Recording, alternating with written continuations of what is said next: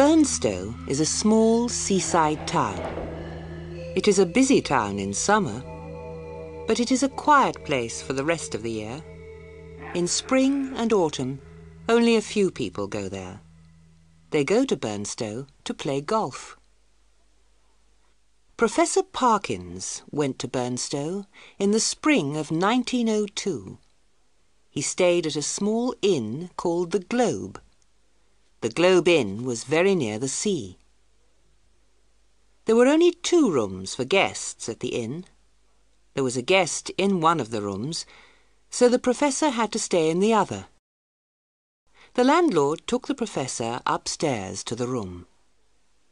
The landlord unlocked the door and showed the professor the room. This is the room, sir, he said. There are two beds. Both of them are comfortable. You can choose the bed you want. There's a good view of the sea from the window. Professor Parkins looked out of the window. The beach was only a hundred yards away. The sea looked grey and cold. Then the professor noticed that there were no curtains on the window. Landlord, he said, there are no curtains on the window. Oh, I'm very sorry, sir, said the landlord. I'll tell the servant to put them up. That afternoon, Professor Parkins met the other guest. His name was Colonel Wilson. They decided to play golf together. The two men walked along the road to the golf course. They talked about their lives and their work. Colonel Wilson had been an army officer in India. He had lived in India for many years. I am an archaeologist, said Professor Parkins. I study history by digging up old buildings. Are there any old buildings here, in Burnstow? asked the Colonel. I believe there was an old church near the golf course, said the Professor. But it was pulled down in the fourteenth century. Why? asked the Colonel. It's unusual to pull down a church, isn't it? Yes, said the Professor. I don't know why it was pulled down. That's why I want to look for it. I want to find the place where the church stood. They played golf for most of the afternoon. Shall we go back to the inn for a drink before supper? the Colonel asked. I will see you at the inn in half an hour, the Professor said. First, I will look for the old church. Don't be late, said the Colonel. It will be dark soon. The Colonel walked along the road towards the inn. The Professor walked towards the beach. He looked at the ground carefully. There were many large grey stones near the beach. The stones were covered with grass. They were placed in the shape of a circle. The professor touched a stone with his foot. The stone moved. There was a hole underneath the stone. Professor Parkins looked into the hole. It was dark in the hole, and he could not see anything, so he lit a match. The wind blew the match out. He put his hand into the hole. The hole was empty. No, he was wrong. His fingers touched something made of metal. He pulled it out of the hole. It was a piece of metal about four inches long. It was old and dirty. He put it in his pocket. The picture sequence from the cinema has finished. You can look at it once more if you want.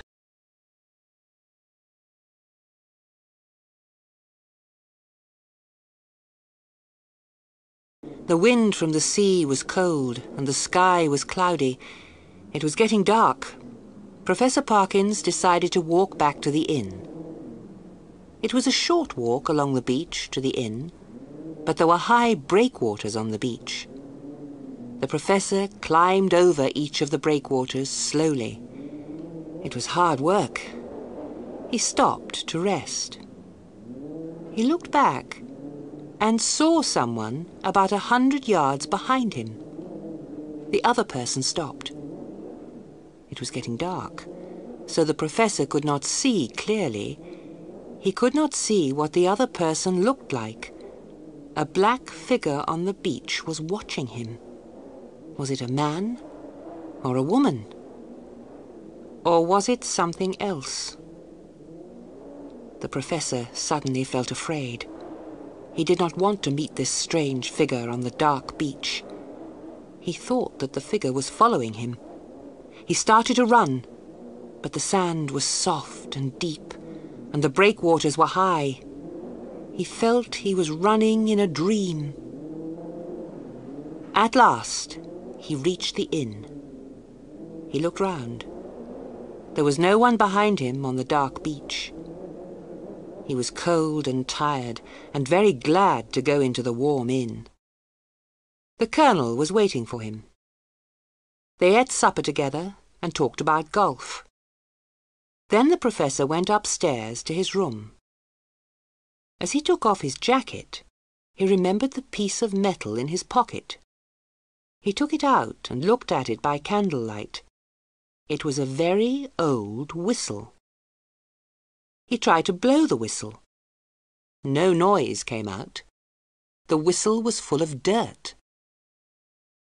The professor took out a small pocket knife. He went to the window to clean the dirt out of the whistle. He saw that there was still no curtains on the window. He opened the window and looked out. The night was dark. There was no moon. But the professor thought there was someone standing on the beach. He cleaned the whistle quickly, then went back to the candle. Now he could see marks on the whistle. The marks were letters. Quis est iste qui venit? Latin, the professor thought. Quis est iste qui venit? That means who is this who is coming? The professor tried to blow the whistle. No one will come, he thought. But he put the whistle to his lips and blew. The sound of the whistle was clear and high. It was a sad sound. Suddenly, the wind blew strongly through the open window. The candle went out. The professor was surprised and frightened. He stood in the dark, listening to the wind. He walked slowly across the room. He closed the window. Still the wind blew. It blew around the inn, making a terrible noise.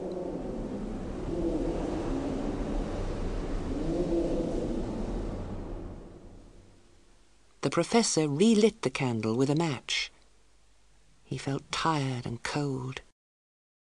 He put the whistle on a table and undressed.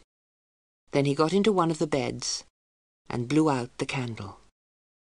The picture sequence from the cinema has finished. You can look at it once more if you want.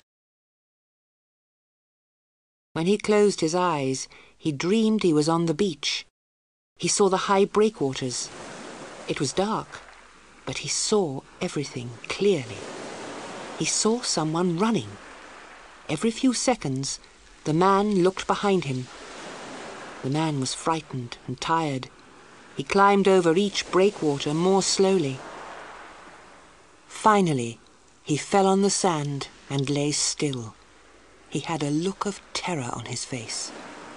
Behind the man, someone or something was moving very quickly.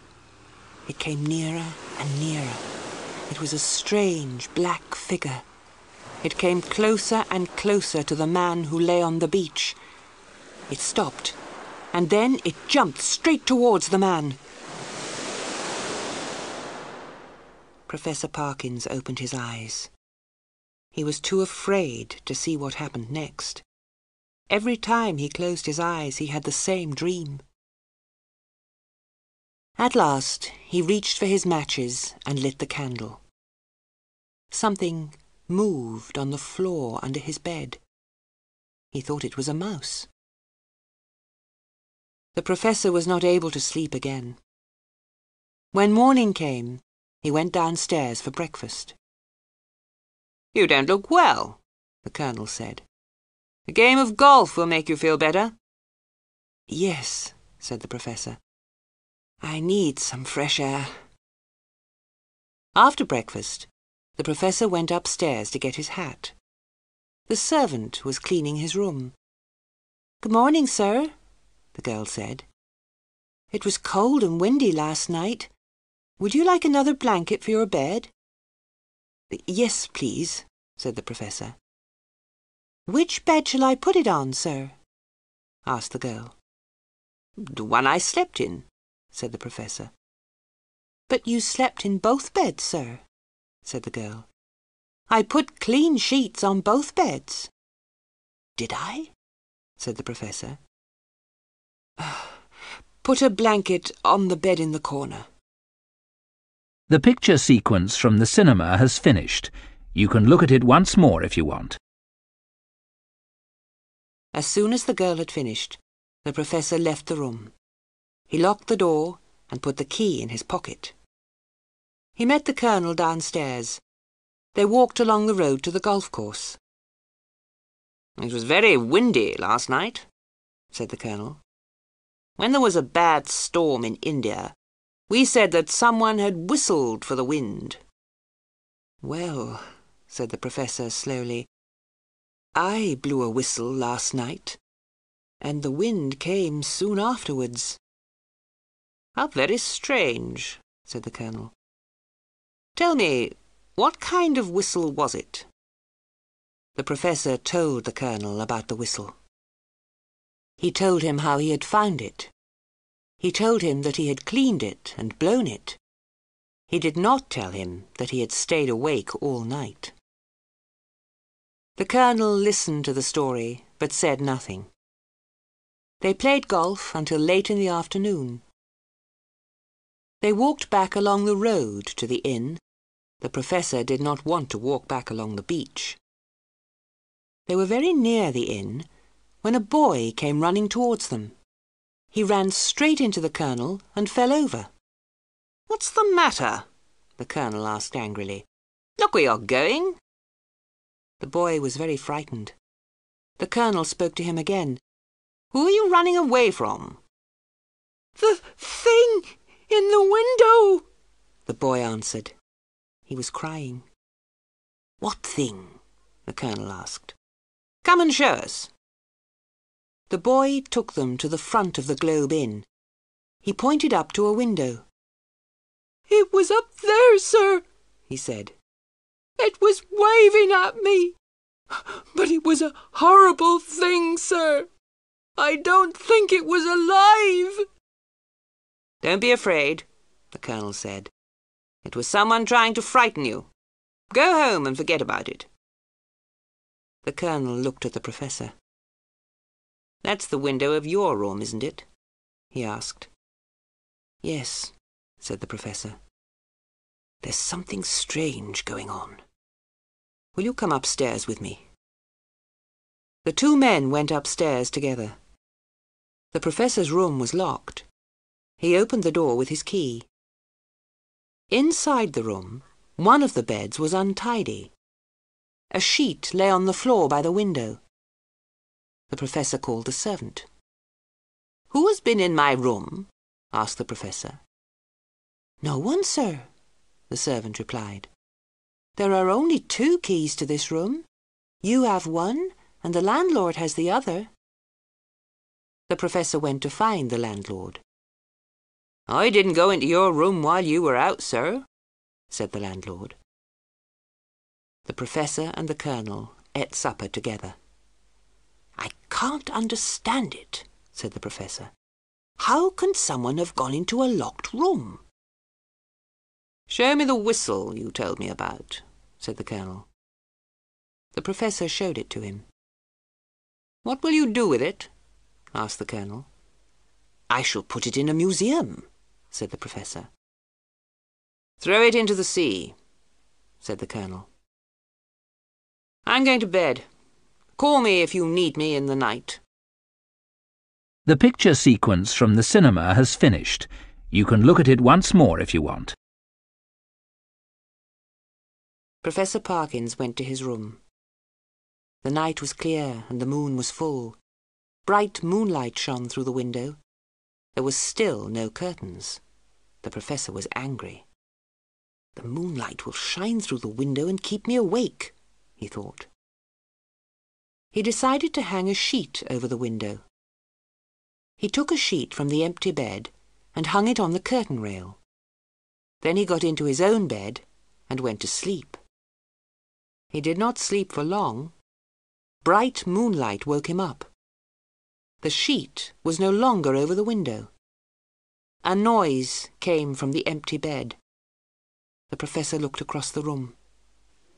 Suddenly, a figure sat up on the other bed.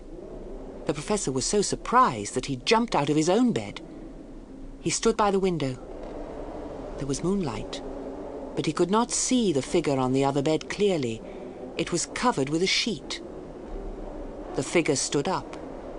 It stood between the professor and the door. Its arms were spread out. It was searching for the professor with its fingers. The figure jumped on the professor's empty bed. It moved slowly over the pillow. The professor shivered with fear. Then the figure got off the bed and moved towards the window. In the bright moonlight, the professor could see its face under the sheet.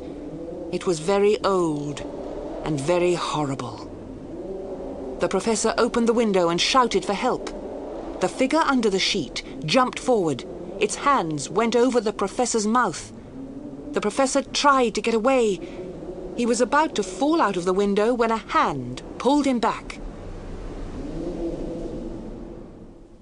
It was the colonel. There was no one else in the room. A sheet from the bed lay on the floor by the window. Next morning, the colonel and the professor went down to the beach. The colonel took the strange whistle and threw it into the sea. Things like this sometimes happen in India, the colonel said. I don't think the figure can hurt you. It can only frighten you. Professor Parkins is still afraid of curtains that move in the wind. He also sleeps without sheets on his bed.